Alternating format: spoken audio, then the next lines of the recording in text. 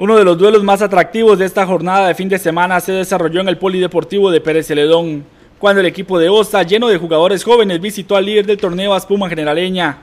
El duelo fue controlado por lapsos por los oseños, quienes salieron con un esquema reservado en búsqueda de anotaciones mediante la vía del contragolpe, aprovechando justamente la velocidad de sus volantes. Sin embargo, al final la experiencia les pasó una cara factura en el manejo de los últimos momentos del duelo.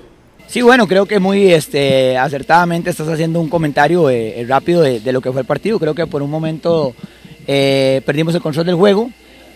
cuando anotamos el, segundo gol no tuvimos tiempo de poder, este, como dicen, ordenar el equipo, esperar que viniera la presión de parte de ellos. Inmediatamente cayó el gol de ellos, no nos dio tiempo. inmediatamente el empate de ellos, este, pues crea una confusión con nosotros. Inmediatamente nos anotan el tercero que fue lo que creo que nos afectó para el cierre del partido, porque si no hubiéramos recibido el tercer gol, creo que hubiéramos hecho eh, eh, un cierre más, eh, más difícil para ellos y, tal vez más fuerte para nosotros, pero bueno, es una enseñanza esto.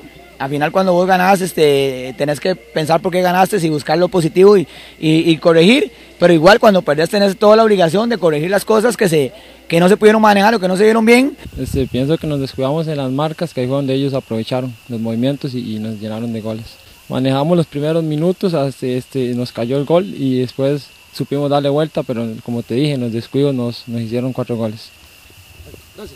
Sí, sí, la verdad es que este equipo es muy joven. Nosotros tenemos, desde acaso, unos tres meses ya de trabajar. Muchos jugadores se nos fueron, pero y ahí estamos, trabajando humildemente. El rival de hoy, bueno, es el líder, eh, campeón del torneo anterior. ¿Cómo enfrentaron a su Puma Generaleña? Yo creo que al final del marcador se ve reflejada un poquito la superioridad del equipo, pero ¿cómo reaccionar ante el rival de turno hoy? No, no, la verdad es que, como le digo, nosotros somos un equipo muy joven que, sale, corremos mucho, metemos mucho y la verdad es que nos motivamos, ¿verdad? Para ver contra la espuma porque es el equipo campeón, pero como, le, como, como es así, o sea, eh, esas son las cosas que, que, que, te da el fútbol, que la experiencia.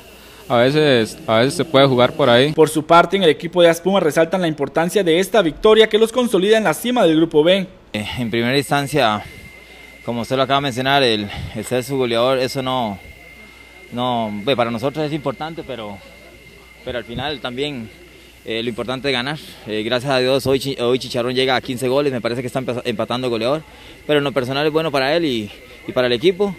Sí, Osa tiene un buen equipo, joven y todo, pero como le digo, a veces eh, nuevamente la, la experiencia en, en cualquier campo hace la diferencia, ¿verdad?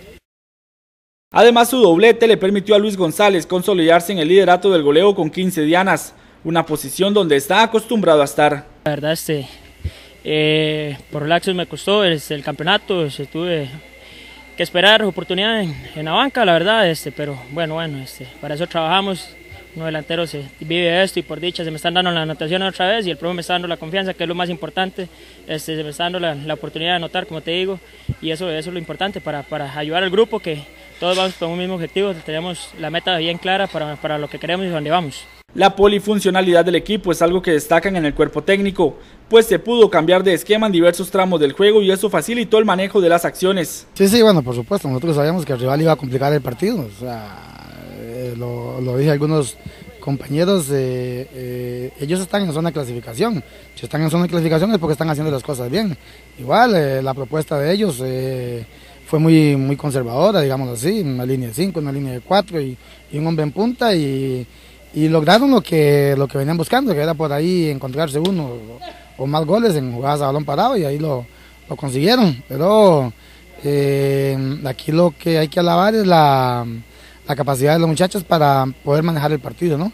Y la versatilidad de, de tener jugadores, primero variantes que llegan y, y hacen diferencia, ¿no? Y después eh, tener jugadores que te juegan igual en una posición que en otra, porque hicimos eh, no solo los cambios, sino varias variantes, ¿no?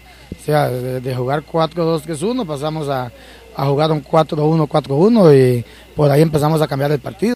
El próximo miércoles, Osa recibirá a Barrio México mientras Aspuma visitará Turrialba.